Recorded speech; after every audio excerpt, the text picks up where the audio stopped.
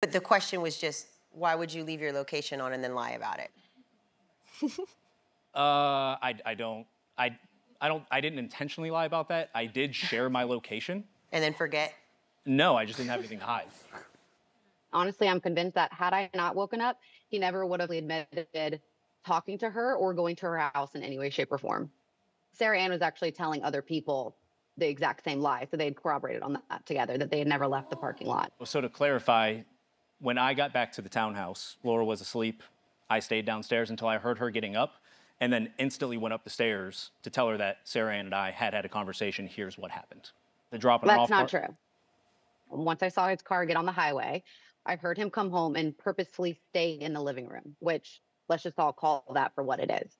Um, I then woke up at 9 30, 10 o'clock. He came in. He was kind of stumbling around his words. I was like, Where were you? He wouldn't answer the question straight up. And I just knew. I knew he had seen her. And I mean, I freaked out for him to go meet her behind my back. I just knew it was sketchy. You were not waiting for me when I got home. I came upstairs. I told you what happened. So I'll take. Jeramey, I'll, I'll admit my fault true. on the I other part, but I'm not going waiting up for you. I should have been on the front porch waiting for your ass at 6 a.m. is what I should have been Okay. doing. Instead, I was laying in my bed and I heard you come home. And I'll, I'll take my lumps for what I actually did, but I'm day. not going to have it continue to be painted to be worse than that. Like I'm not going to. I'm not going to do that. I'll own You've that. never taken accountability. You've never taken accountability. You've never like flat out apologized. You're a clown, okay? You're I never and lie after lie after lie after lie.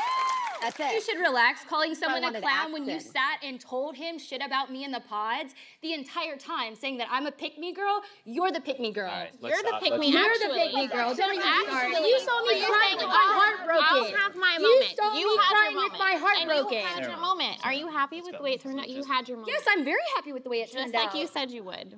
Okay. Just like Let's you let it go. you would. Let's let it go. You are a pick me girl, sweetie. Okay. You're not a girl's girl All ever right. a day in your life.